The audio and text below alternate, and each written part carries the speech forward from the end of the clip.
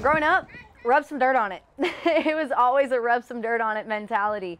Something hurts, you better suck it up because you got a team to play for. For collegiate athlete Tyler Scott, this is one saying she has lived by throughout her entire softball career. Ever since I could grab a glove and hold a glove, hold a ball, and hold a bat, I was I've been playing softball. But after years of constant work on and off the field, Scott found herself in immense pain after catching one night in a high school game. They told me that it was either my back or my hip, um, that as long as it didn't hurt me too bad, I could continue trying to play on it.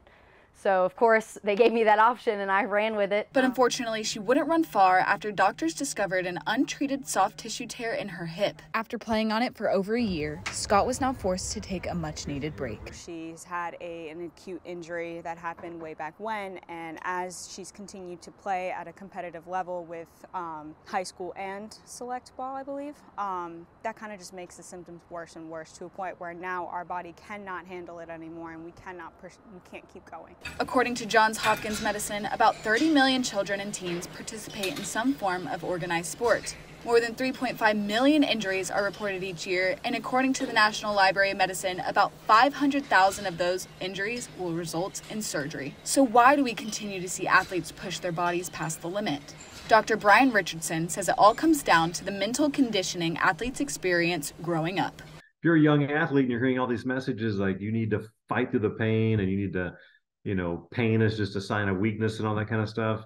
It doesn't surprise us that some athletes will choose to sort of like ignore their bodies and sacrifice their bodies for sports. Dr. Richardson also stated that with the recent rise in NIL deals at the high school and collegiate level, athletes feel more pressured to perform than ever. The college ranks and even high school athletes can get NIL deals, and so they're becoming commodities. And I would imagine for some of those great athletes who can get those deals, they're going to feel a pressure from whoever's sponsoring them, whoever's paying them to play through pain. According to the National Institutes of Health, 20% of athletes have reported injury as a reason for quitting their sport. Because it wasn't taken care of in high school, because it wasn't taken care of properly, it didn't get the proper attention at my junior college. He did state that due to the injury, um, there is no guarantee that I will ever not have pain in my hip. But after a successful surgery and constant physical therapy, Tyler Scott refuses to let her injury control her life and instead took it as a lesson for the future. If you've got pain, something's not right. Whether it be minor or whether it be major, like whether it be something torn